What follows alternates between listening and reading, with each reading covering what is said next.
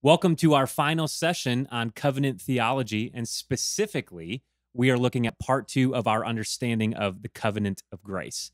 So, by way of reminder, in our last session, we talked about how the covenant of grace was promised throughout the Old Testament and, and revealed in farther steps throughout the Old Testament. But now, in this session, we are actually going to look at how the covenant of grace is established and inaugurated, specifically in what commonly scripture refers to as the new covenant. So, Hmm. Jon, why don't you, just to kind of give us some uh, some some things to talk about a little bit, give Yeah. us a, a good reminding definition of the covenant of grace. Right. So the covenant uh, always has parties involved. So we have two parties involved. You have God who's initiating the covenant, he's giving the covenant. And then you have the recipients of the covenant, which is the elect, those to whom he, uh, in the covenant of redemption, chose before the foundation of the world. What makes this uh, covenant unique is that it is an unconditional covenant.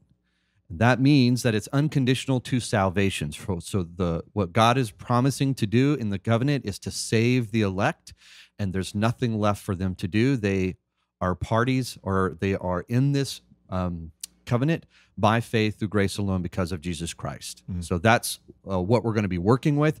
Now there is some distinctions, and Mm. the New Testament often compares the old versus the new to help you understand why the new is needed Exactly. and how the old is a shadow of the new. So let's start there. Yeah. So, what is it that makes the new covenant new? Right. Is a good question to ask. When we talk about the old covenant, just by way of clarification, that we understand to be comprised of the Abrahamic covenant, the Mosaic covenant, and the Davidic covenant. So, those three covenants together make up what would be referred to, even in the New Testament, as the old covenant. Right. And that covenant, as compared to the new, it was a, a covenant of temporal blessing, not Mhm. eternal blessing. That's right. And it was a covenant that was conditioned upon obedience rather than it being unconditional, grounded in the grace of God in Christ Jesus to In the Christ's elect. obedience. Right. Yeah. Justin, would you mind just explaining what do you mean by temporal blessing? Temporal meaning in like earthly and in this life. That's right. Yeah. Yeah. There was an end to it. In other words, the promises of the old covenant had a, had an end in it.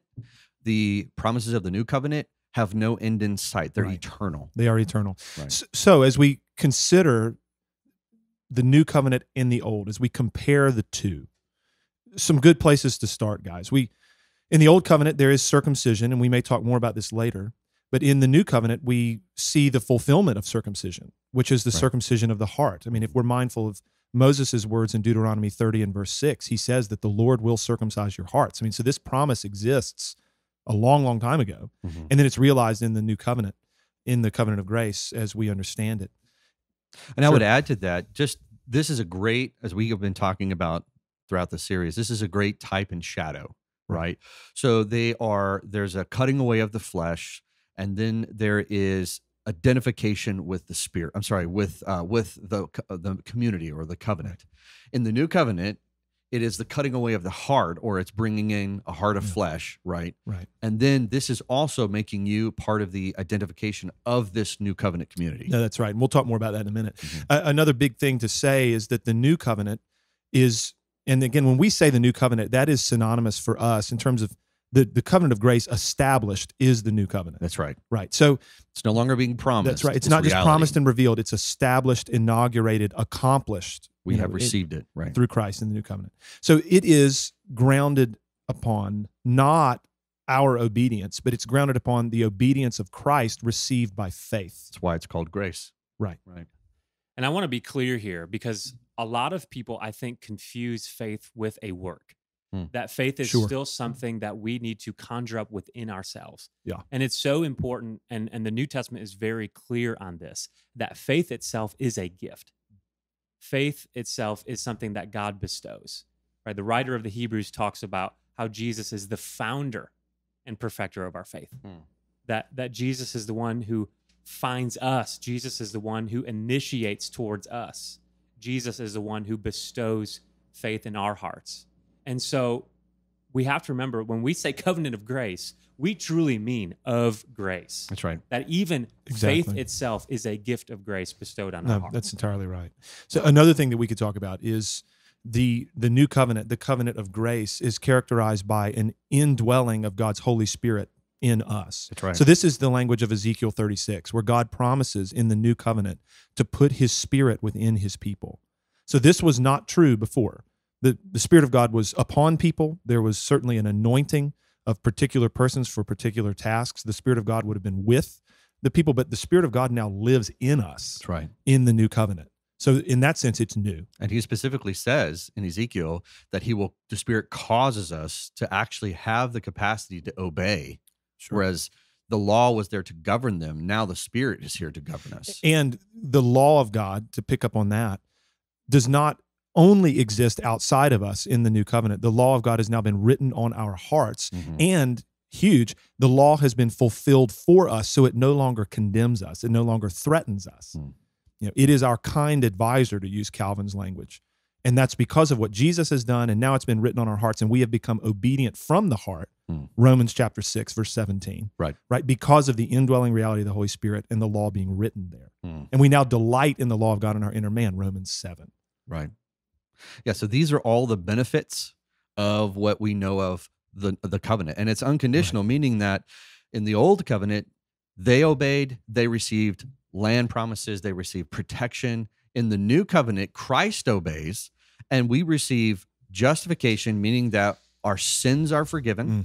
and the perfect obedience of Jesus is given to us. That's our justification. Then we receive sanctification, which is the Holy Spirit coming in and changing us as we wait for the most important promise, which is our glorification, right? Yeah, the moment we will then be fully transformed into the into the into the image of uh, image of Christ. Yeah. So, like, what are the benefits of the covenant of grace? Full stop. I mean, eternal life. That's right. Nothing short of it.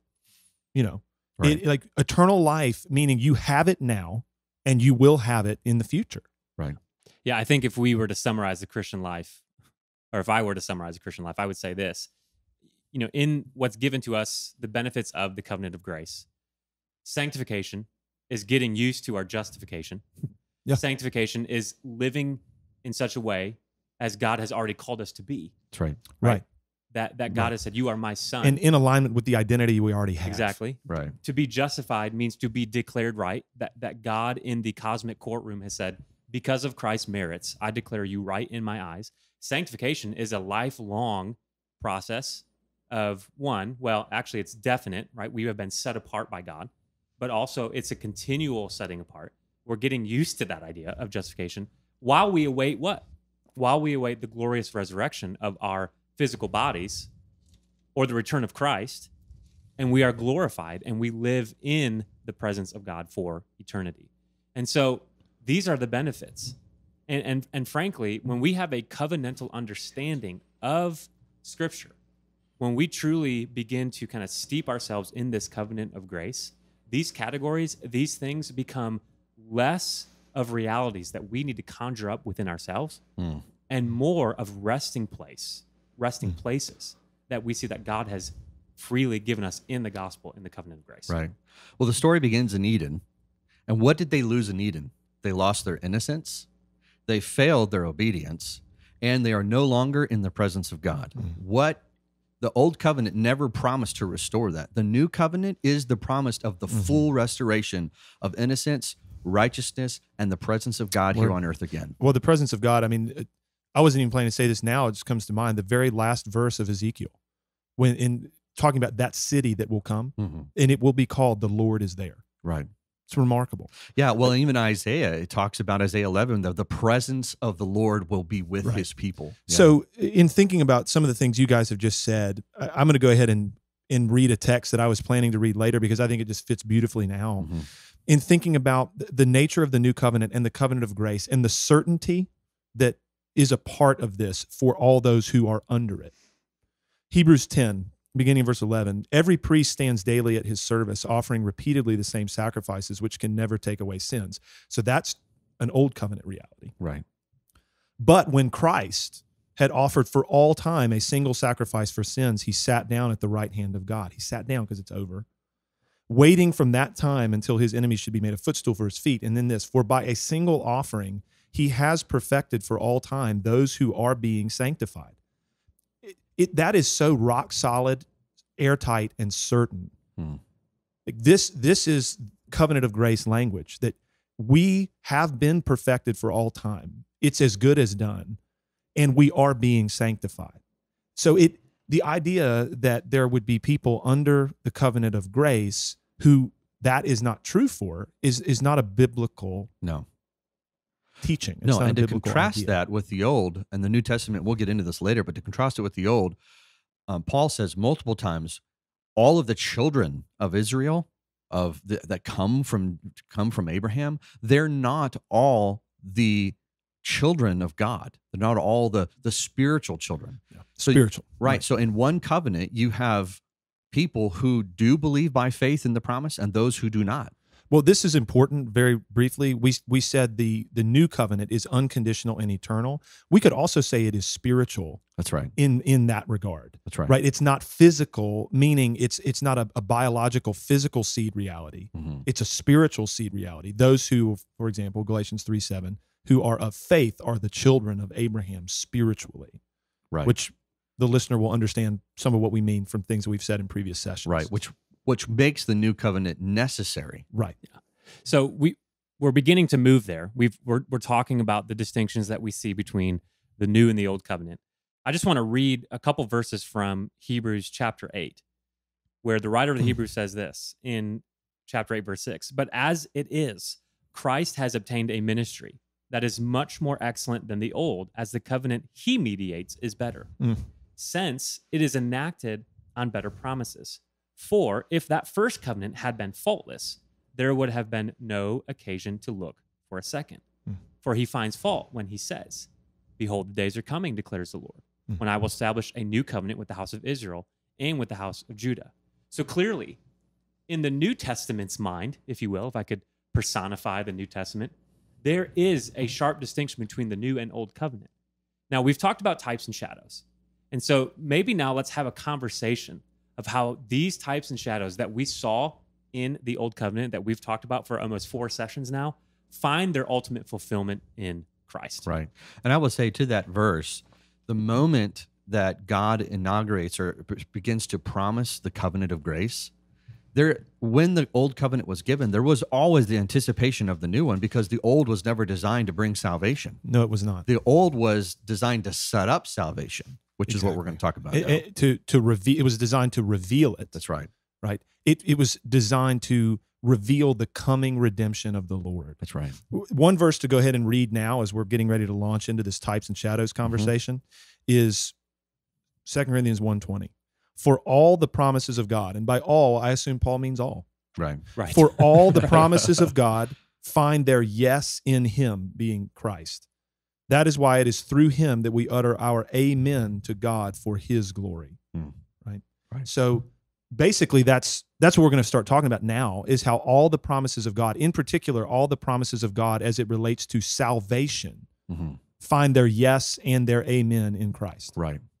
Right. So you have when you when you begin to see the the formation of the old covenant, the original covenant that was made to establish. You have a people that are being established. The purpose of those people, according to Abraham, is that from him all the nations of the world will be blessed, and there's a seed coming. And then you get into the old. Uh, I can remember the first time I began to discover covenant theology and reading the Mosaic covenant.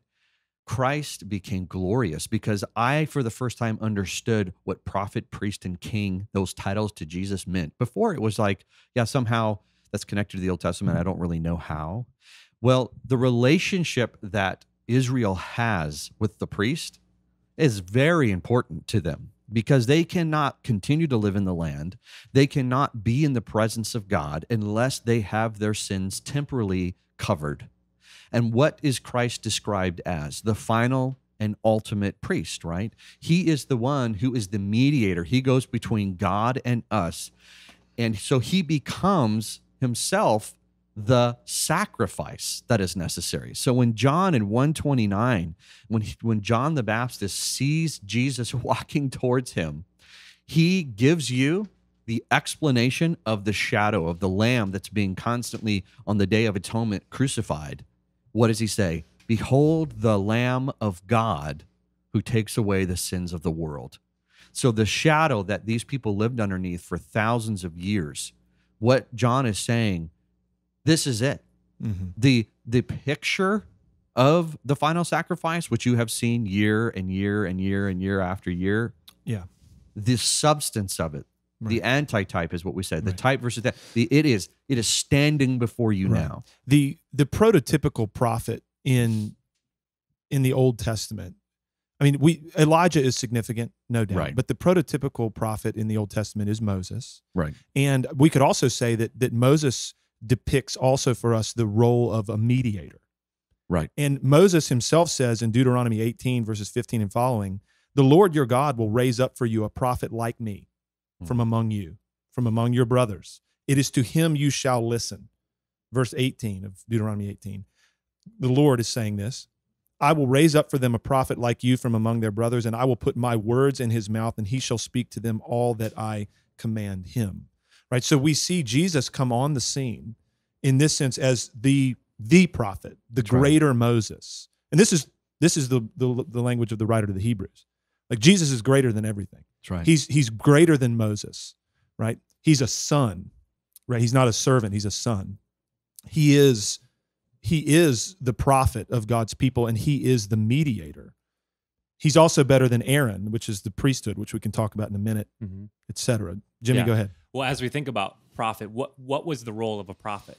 The prophet was a mouthpiece for God. That's right. And actually, I think one of the greatest passages we have that depicts Jesus as a prophet, we often don't think of one, is actually John chapter 1, Mm-hmm. where No doubt. John introduces Jesus how?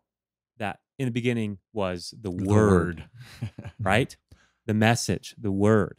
Yeah. That that Jesus himself becomes the word, the living word, the living message to God's people. In the beginning was the word, and the word was what was with God, and the word was God. So John, in John's mind, I think clearly he understands that Jesus is the final fulfillment.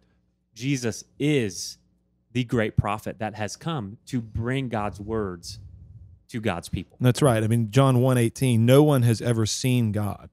The only God who is at the Father's side. Well, who is that? That's J- that's Jesus. the Word. That's the divine Word, the right. divine Logos. That's Correct. God the Son Yes. made flesh. He has made him known. That's So right. in that sense, yes. And it's the language of Hebrews 1, the introduction to the letter of the Hebrews. Like God in various times and various ways, he spoke to us by the prophets and all this stuff, but now in these last days he has spoken to us by his son. Right.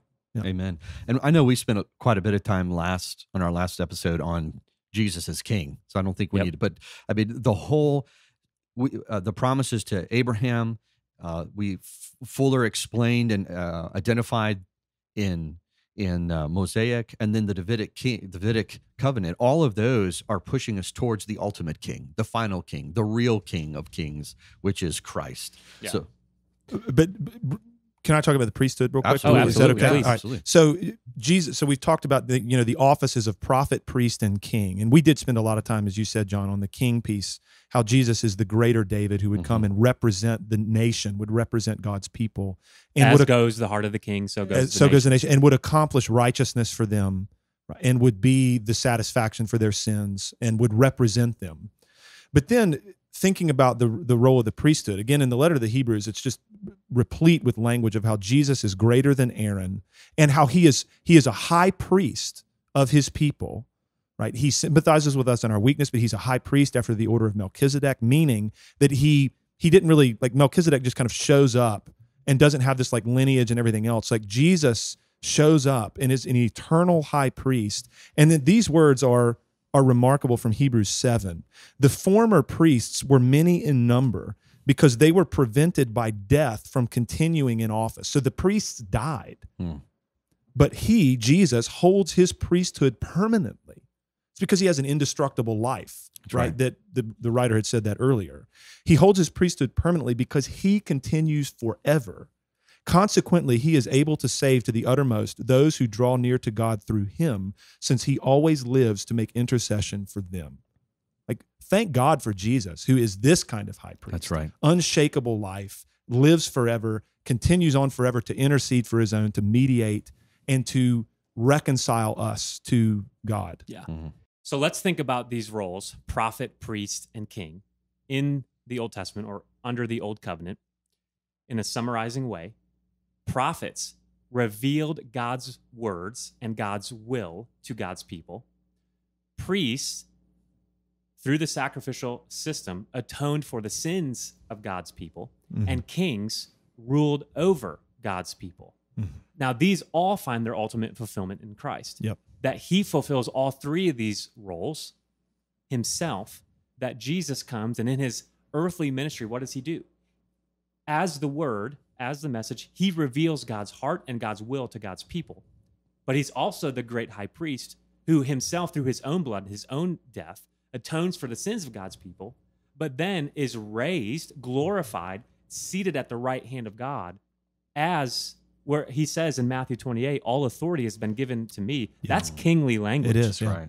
All authority has been given to me. So Jesus speaks God's will to God's people, but he is, he atones for the sins of God's people, and now he has been raised to be the king of God's people, not under the old covenant, Right. but rather underneath the new. That's right. Right. So we said early on in this series that everyone in all of the world has only been saved by faith in Christ. That's right. By faith in the promised seed. That's right. So in Yeah. the Old Testament, they believed that God would fulfill his promise to redeem them. Yeah. And in in uh, just to kind of add what Jimmy is saying, you have Paul who's like all the shadows are gone, the substance is here. So he says this in Romans 3, uh, 23 and following, for all have sinned and fall short of the glory of God, the garden, and are justified mm-hmm. by his grace as a gift, covenant of grace, through the redemption that is in Christ Jesus, the Right. fulfillment of all the shadows, whom God put forward as a propitiation by his blood to receive by faith. This was to show God's righteousness because in Right. his divine forbearance he passed over former sins. So the blood of bulls and goats is what the temporary passing over that he's talking of. So the the the shadows, the children of Israel, those in the old covenant, they Mhm. looked for the moment when God would bring the final sacrifice. and That's right. Paul is saying here that those of the old were not saved by the old covenant. That's right. They were saved by the new, Yep. looking forward to the promise. And Paul is saying now in the new, Yeah. saying it has retrospectively moving back. exactly. save And them. retrospectively, we would understand that all of the benefits of Christ are applied to Old Testament saints. That's right. and that matters. That language is important. Absolutely. Yeah. Yeah. So that even as they were trusting the promises of God realized in Messiah, based upon the revelation that they had, right, the benefits of Christ were were counted to them. Right. Yeah. That's good. And this can be very confusing for people because there there can be when we misunderstand scripture a, a- little bit of cognitive dissonance. But I think a simple way of putting it is this. In the same way that we who are saints in Christ today look back to the life, death, burial and resurrection of Christ as our grounds of salvation and assurance. Right. The saints of old looked forward to the promises of God to be Yes. revealed finally in Jesus Christ, even if they did not see it. And so Yeah. we look back, they looked forward. But what's important is that very definite time in history Hmm. when Christ fulfilled all that needed to be fulfilled in his life and his death and resurrection. Yeah. And so, as we've said, when you arrive in the new covenant, when you come to the gospel accounts and Jesus shows up on the scene, everything that came before, it they were types and shadows. There were promises, there was revelation, but the covenant of grace itself, accomplished and established, is happening as Messiah shows up on the scene. Mhm. And we are no longer in types and shadows territory. The real thing has come. And the point of all the promises that were made is now here. And even like Galatians 3:16 is a significant verse. We talked a lot about Abraham in the previous session. But to see there the language of Paul that he understands that the promises God made to Abraham and by promise we would we would understand the unconditional promise Right. that God made to Abraham, it is realized through the promised offspring. Right? So it's not the, the physical children of Abraham, it is the promised offspring, namely Christ, who will fulfill and accomplish all of these things for all of Abraham's spiritual children. Yeah. Another verse which is uh, connected to that, is Romans 15 8, where he says, For I tell you that Christ became a servant to the circumcised to show God's truthfulness in mm-hmm. order to confirm the promises given to the patriarchs, and in order that the Gentiles might glorify God for his mercy. As it is written, therefore, I will praise you among the Gentiles and sing to your name. So the purposes of Israel is to bring us Christ and to fulfill the promises, as he says, to the patriarchs. Yeah, and the purpose of the nation of Israel is to save the nations, plural. R- Not just Israel. That's right. But just a brief thought. Yeah, like we Israel had a purpose and that purpose is now fulfilled as Christ shows up on the scene. It matters that that we would say this. A lot of times the the perception of many people is that Israel was the point or is the point, Hmm. and the church is kind of the parenthesis. That's right. Whereas we would we would say, well, actually it's the, the opposite. That the church, meaning the people of God from every tribe, language, nation, around the throne of God in the new heaven and new earth, that was always the point. That is That's the right. point. And Israel is is the parenthesis. That's right. Israel is the vehicle through which Messiah comes and through which the nations will be saved. Well, and and that's really the promise that's made to Abraham that through him, through his offspring, the nations of the world would be blessed. That is what we are seeing in ultimate fulfillment, as you mentioned in Revelation, where we have members of God's people from every tribe and every tongue and every language and every nation around the throne of God because of the Lamb of God who was slain to take away their sins. That's right. So we want to be very clear that Israel's purpose was to bring us the Messiah. That's right. Yeah. And that was accomplished at the coming of Christ. and now this is where you start to see Paul use language that the beautiful mystery of the gospel is that they now, under the new covenant, are welcoming the Gentiles.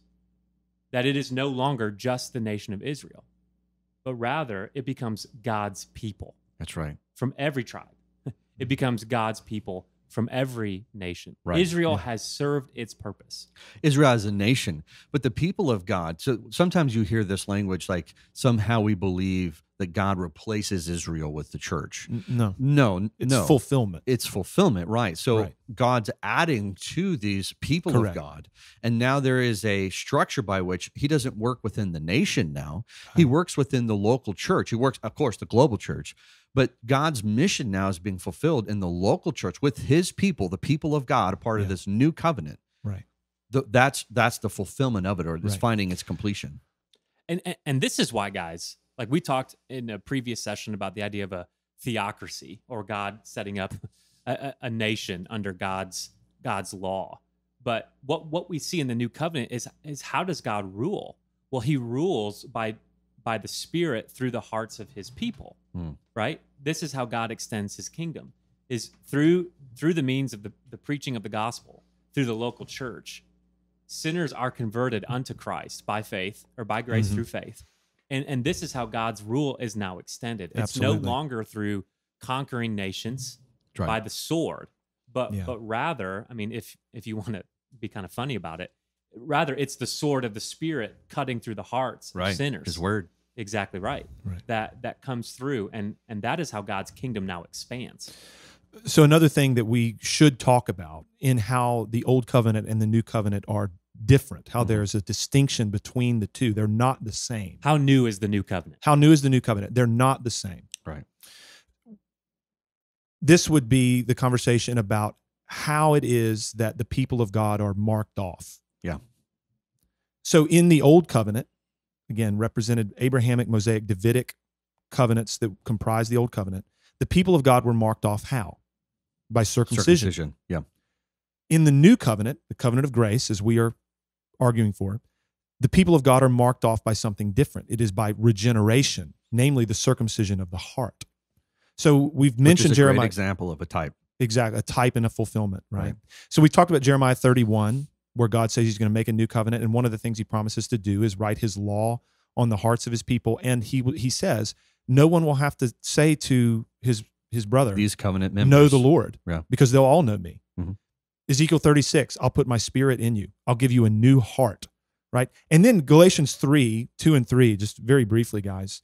Paul asks this question. Let me ask you only this to the Galatian Christians Did you receive the Spirit by works of the law or by hearing with faith? Are you so foolish, having begun by the Spirit, are you now being perfected by the flesh? But in particular, this question of did you receive the Spirit by works of the law or by faith? And people who are familiar with the context of Galatians know that the main work of the law that keeps coming up over and over again is circumcision. Mhm. So did you did you receive the Spirit by by circumcision? Well, no. Did you become a part of the people of God by circumcision? No. That's right. How did you become a part of the people of God? Well, it was by faith. Mhm.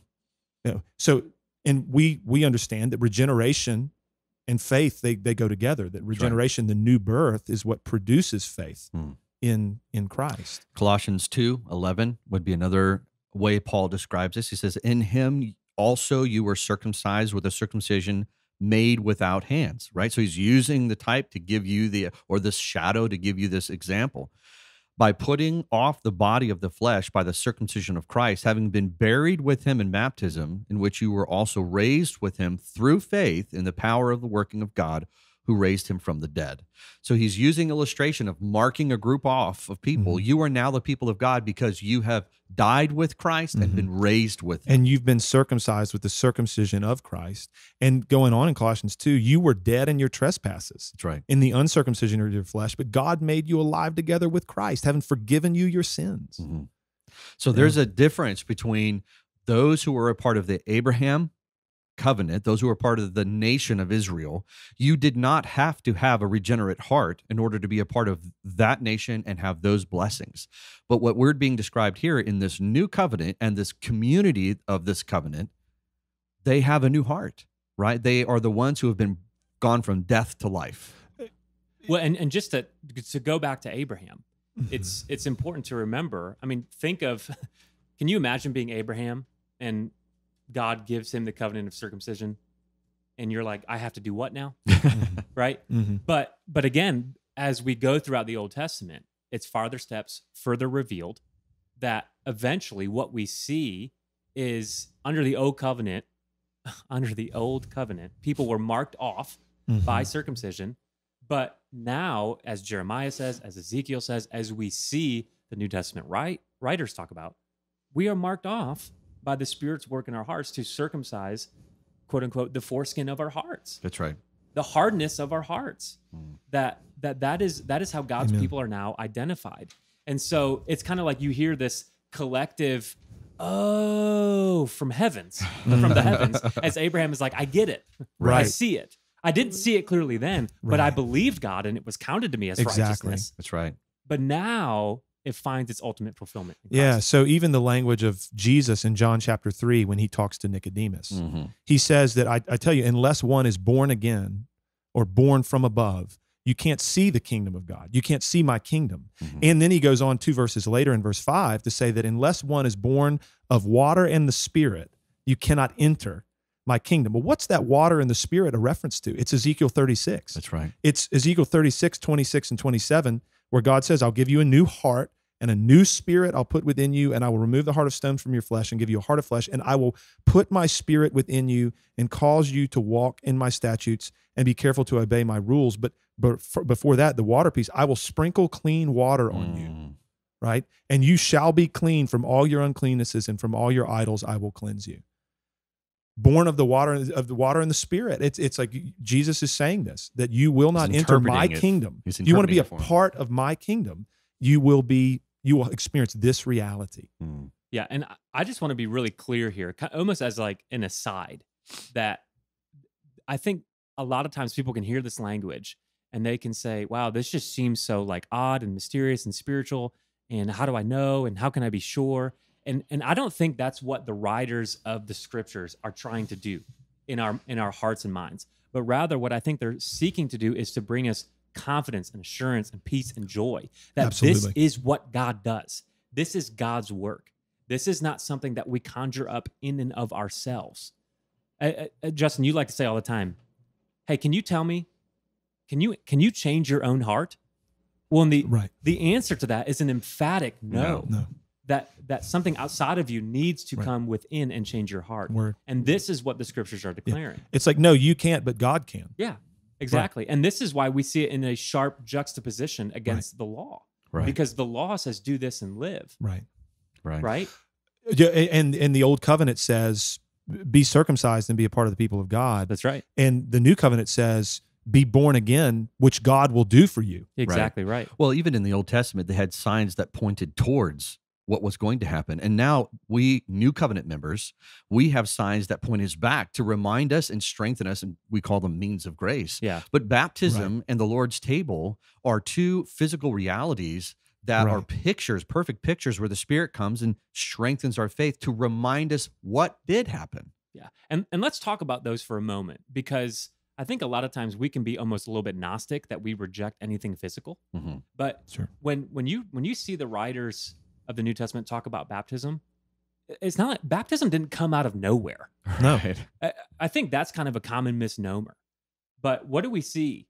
We see in the Exodus, they, Sure. they walk through the judgment waters out That's of right. slavery, That's right. right?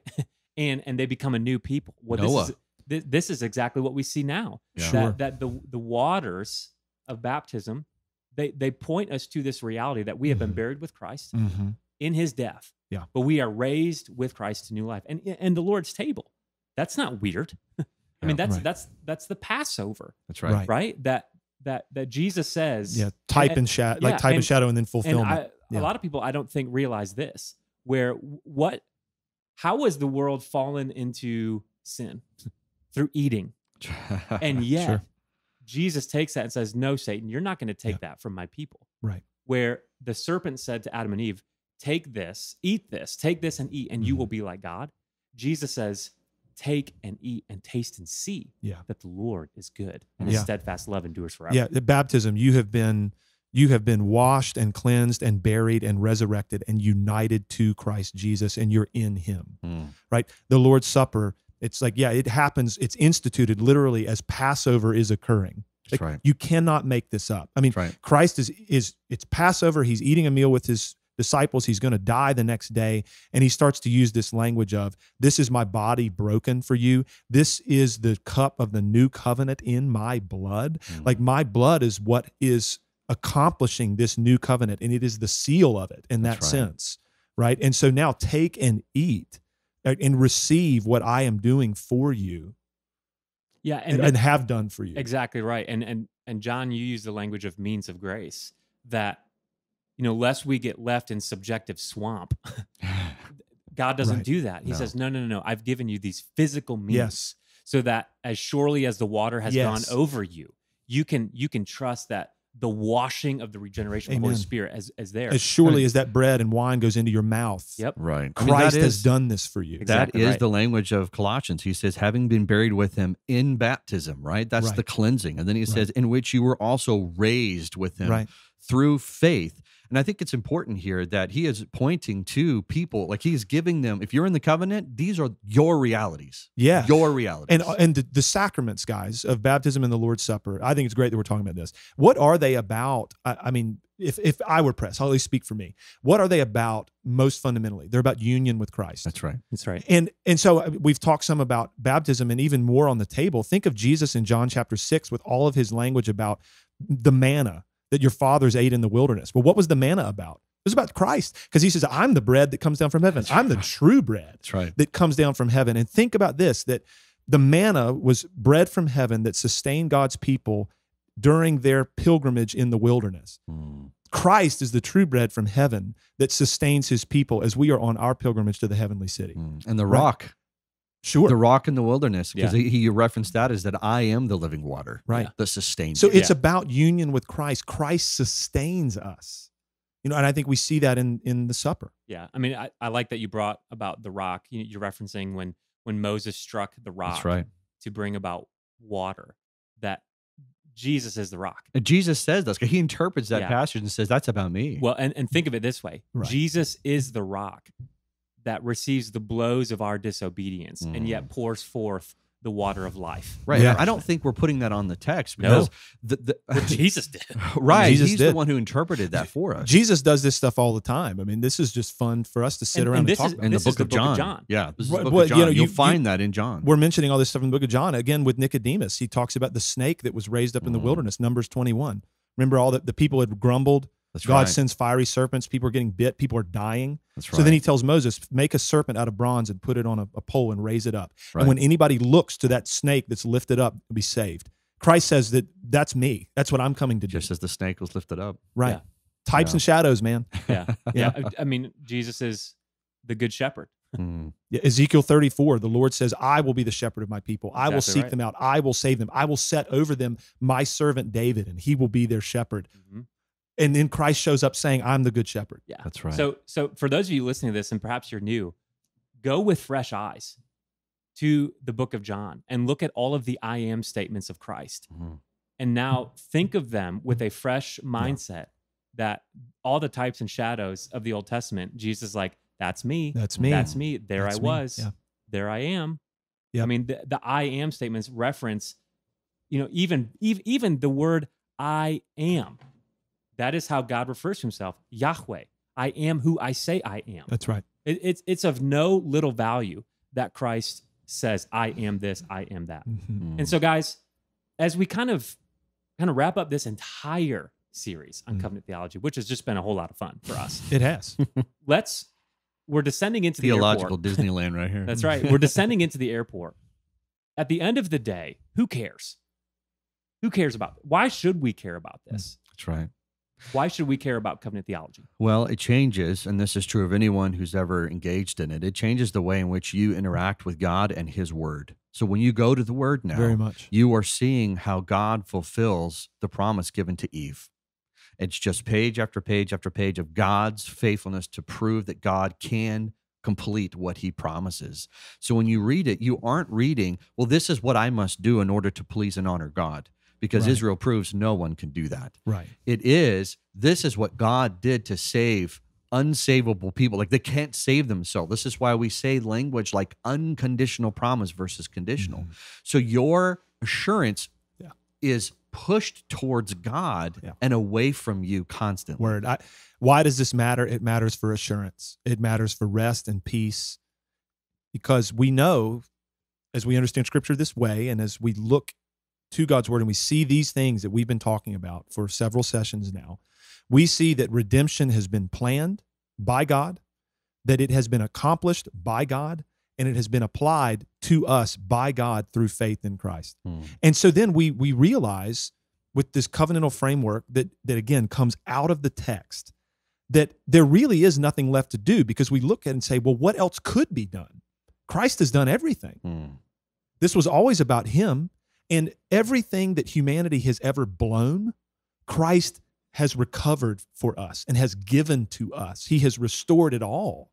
You know, and he has saved us and rescued us from everything that we have done to ourselves through sin.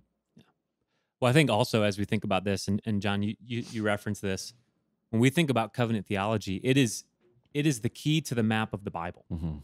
That it helps us to understand that the scriptures are not there to make us morally improving people. The scriptures are not there to give us a list of moral commands that we do and do not. Right. but rather the scriptures are there to give us this grand drama of redemption mm-hmm. that is revealed in types and shadows in the new, Old Testament, but finally mm-hmm. fulfilled in Christ in the New. Yeah. That we look to and say, "My goodness, the Bible is beautiful. Mm. It's Mhm. not this obscure text, but the Bible is a history of redemption that I find myself in under right. the covenant of grace in Christ." Right. And in the narrative, as Israel had rules by which they would to live in the presence of God, as new covenant members, as those under the covenant of grace, we too have been given uh, ways in which that we are to live and Sure. conduct ourselves. As those who have received grace and love, we give grace and love. And, Mhm. and we are accomplishing those missions. So don't, I mean, sometimes people hear us say, well, covenant theology must not be about obedience at all. Well, of course not. Well, actually, it is. Oh, It's about Christ's obedience. That's right. right. But my point is, those who are part of the new covenant, right. we we do have ways in which we conduct ourselves Absolutely. but it's never as we say at theocast it's never to gain or maintain your entrance Mhm. into the new covenant it's because you're in the new Yeah, covenant it's in light of your entrance. You Exactly. you're you you and now because of your entrance. that's right you now live Yeah, I mean, think think of the whole idea of adoption. If you were to adopt a child, right, you wouldn't look at that child and say, hey, you better behave yourself if Right. you want to be a Buehler or you want to be a Perdue or you want to be a Moffitt. Yeah. So- No, you would say, no, because you are my son, exactly. because I have adopted you into this family. This is this is who you are now. Right. Right. And something that I say to, to our church all the time is that when God calls us to live, or dare I say behave in particular ways, He's calling to He's calling you to live in light of who He's already declared you to be. Mm. Yeah. That that is the beauty of adoption. Yeah, I, I'm going to come back to one final thought for me. And we talk a lot about the sufficiency of Jesus. Uh, covenant theology has everything to do with that, and we we use the phrase in our church a lot that Christ is enough, and that's Right. what we mean. And and that flows out of and comes from this covenantal understanding that Christ is enough to save. He is able to save. He is mighty to save, and He has saved us. And Horatius Bonar has a, a lot of great things to write and say, but he has a, a little anecdote that's really cool about writing about an anxious soul who has no peace before the Lord. And he goes through this this this story of all these things that this person is doing to try to find peace before God. Surely this will do. Surely this will do. Surely this will do. I'll do this and then I'll have peace. And the conclusion that this person comes to at some point after he's done all these things is none of these things will do, but Mhm. Christ will do. That's right. And Amen. for me, Christ will do.